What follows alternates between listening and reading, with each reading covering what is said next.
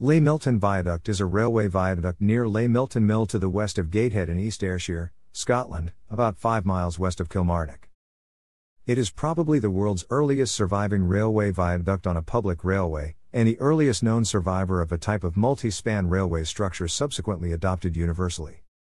The viaduct was restored in 1995 to 1996 and is a Category A listed structure since 1982. It bridges the River Irvine, which forms the boundary between East Ayrshire and South Ayrshire. It was built for the Kilmarnock and Troon Railway, opened in 1812. The line was a horse drawn plateway. The first viaduct was closed in 1846 when the railway line was realigned to ease the sharp curve for locomotive operation, and a wooden bridge was built a little to the south to carry the realigned route. This was in turn replaced by a third structure further south again, which carries trains at the present day. Laigh Milton Viaduct in 1996 The first viaduct was constructed as part of the Kilmarnock and Troon Railway, which opened on July 6, 1812.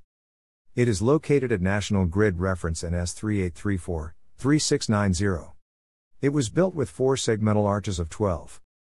3 meters span, and a rise of one third span. The voussoirs were 610 millimeters thick. The railway was carried about 8 meters above the river surface. The arches were of local freestone with sandstone ashlar facings and rounded cutwaters. These were later extended to form semicircular buttresses. Built in 1811 to 1812, it is the oldest surviving railway viaduct in Scotland and one of the oldest in the world. It is about 82 meters long by 5.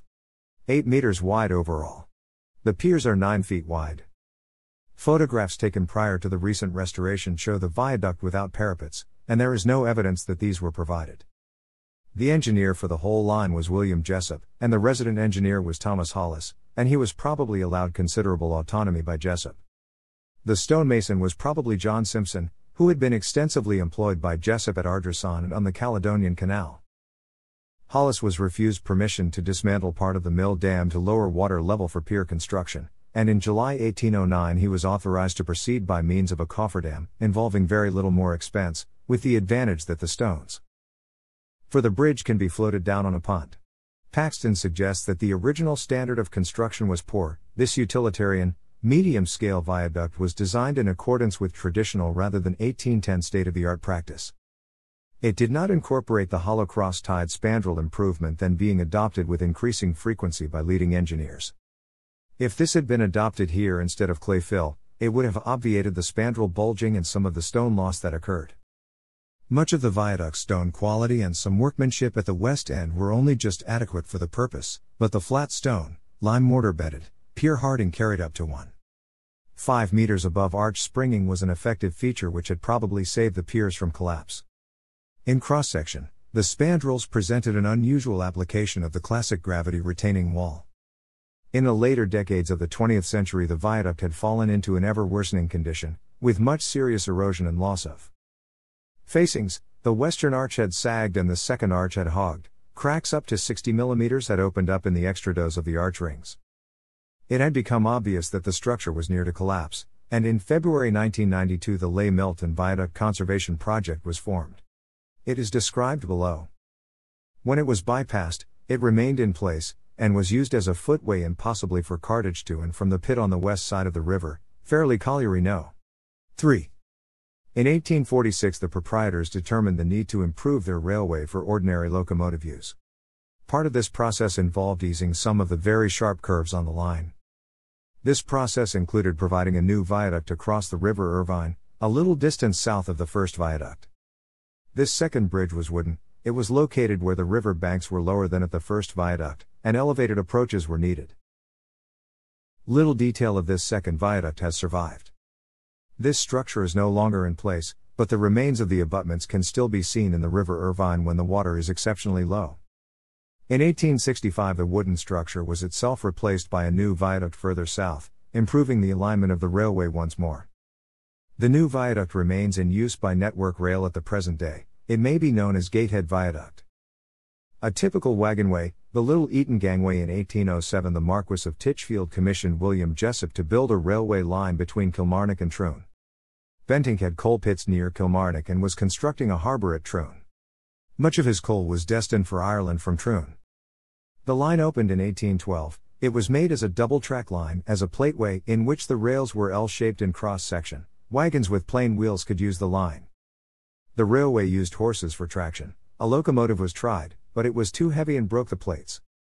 Passengers were carried by independent hauliers. The plateway system had significant limitations, and the company converted the line to an edge railway from 1841. Locomotive traction was intended, and some very sharp curves on the original line needed to be eased.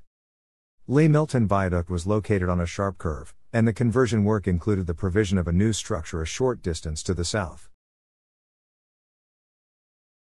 The Kilmarnock and Troon Railway was a local line, and as larger concerns extended their area of influence, the Glasgow, Paisley, Kilmarnock and Ayr Railway leased the line from 1846 and built connecting lines so that it became an integral part of their network. The alignment at the second Laigh Milton viaduct was still unsatisfactory, and in 1865 a third viaduct was built further south. The GPK&R was taken over by the Glasgow and Southwestern Railway, and the line remains in use today, owned by Network Rail. Passenger and freight trains operate over the route. William Iones's 1811 map showing the course of the Kilmarnock and Troon Railway. In February 1992, the Laigh Milton Viaduct Conservation Project was formed, with the objective of conserving the structure. The project did not necessarily anticipate taking on ownership, but this became necessary as a condition of funding, and Strathclyde Regional Council agreed to let and oversee the main contract for restoration, and to take over ownership on completion. Ownership proved difficult to trace, but was eventually found to rest with adjoining farm owners, and the viaduct was purchased from them for a nominal sum. Contracts were prepared on a design and build basis, and funding was obtained from. The lowest tender for execution of the project was accepted in February 1995, and the outturn was £1. 024 million, representing 95% of the funding. Preliminary works accounted for 1. 5% and legal costs and administration for 3. 5%. Barr Construction were the main contractor. Paxton records that the viaduct had become fragile largely because of crumbling of much of its stone, which was not of the best quality, being of a minutely fissured weak texture. With lack of maintenance, vegetation and weather effects this weakness had led to widespread stone loss and serious undercutting to all piers at or near water level. The west pier was seriously cracked, mainly around its traditional hearting, and had lost about a third of its 2. 9 meters thickness. Some movement had occurred long ago, causing stretching and hogging of the arches adjoining the west pier. The north spandrel wall had suffered extensive stone loss at the top and some peeling away of pier bull noses. The site agent had shown initiative by artificially aging a trial area of new stone with peat and milk, but it was insisted that the new stone should remain untreated in order that old and new work could be identified. The original viaduct had not had parapets and had probably never had handrails, which were now essential for safety. It was considered appropriate to make them of steel in an authentic period style, and after examining photographs of the cast iron railings of Chirk Aqueduct and other early examples, masonry copings and light colored railings were provided. The preservation of the 300 mm distortion of arch 2 was maintained. The light colored railings are unobtrusive visually against the sky. The viaduct was formally reopened on October 29, 1996, and ownership of the viaduct was handed over to East and South Ayrshire councils on April 18, 1997. Craig House from Laigh Milton Viaduct John Ainslie's map of 1821 and John Thomson's map of 1828 both show the route of the Kilmarnock and Troon Railway and the position of Laigh Milton Viaduct crossing the River Irvine. The first Ordnance Survey map of 1860 shows a farm track crossing the viaduct as part of a byway from West Gatehead Farm to Cockhill Farm in the Craig Estate. The new wooden viaduct of 1846 carries the railway. The new bridge required embankments to give sufficient height over the river, whereas the first viaduct was sprung from higher river embankments. On the Troon side, the site of the old track has been obliterated by Fairley Colliery and its spoil heaps.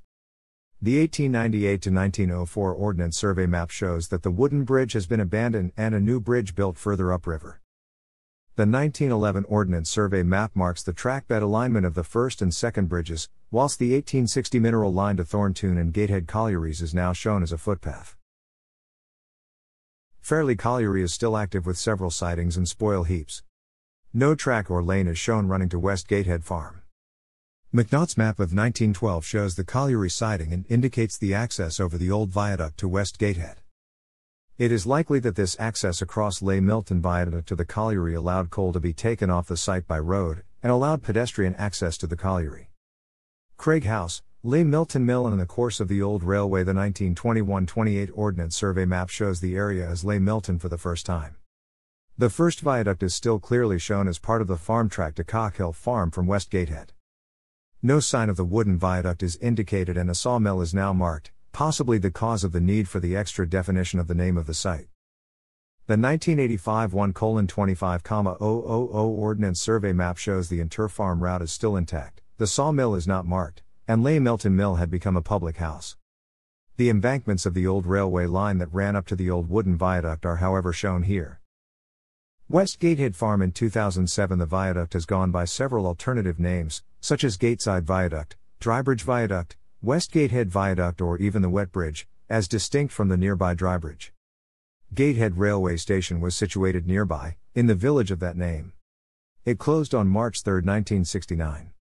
Gatehead is likely to be named from the Turnpike Road and the toll bar. A Gatehead toll bar is still marked on the road down to Laigh Milton Mill and the Craig House Estate on the 1860 OS map. A hamlet called Milton is marked on the 1821 and 1828 maps, but the name is not marked on the 1860 and the more recent OS maps. The remains of the old Drybridge railway station and the village of the same name are nearby.